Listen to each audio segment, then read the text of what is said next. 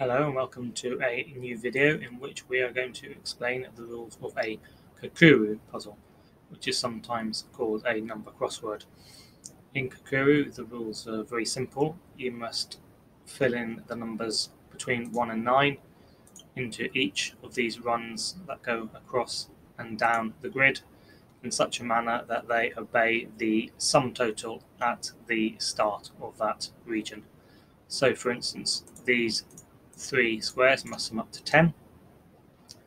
These three squares must sum up to 15, and you must use the numbers from 1 to 9 only. And also, very importantly, you cannot repeat a number within a run.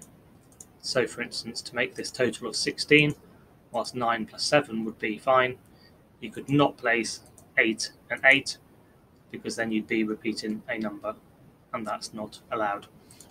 So when solving Kakuro, then typically you will need to use pencil marks, particularly with the trickier puzzles, and you soon start to identify combinations that only have one possibility, and we've marked a few of those in this grid to show you. So for instance here, this 10 of four squares must be 1, 2, 3 and 4 in some order, because that's the only way to make 10 from four numbers between 1 and 9 without repeating any digits.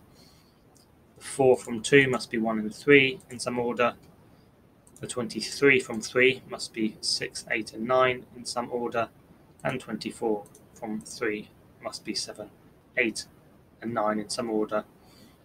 And then generally you make progress by cross-referencing. So for instance we have a 12 from two squares here.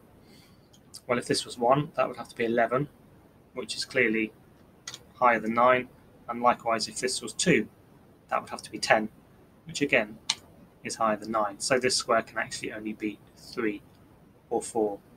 And as you work your way through solving a Kakuro puzzle, you can gradually whittle down to the single option that must be placed in each square.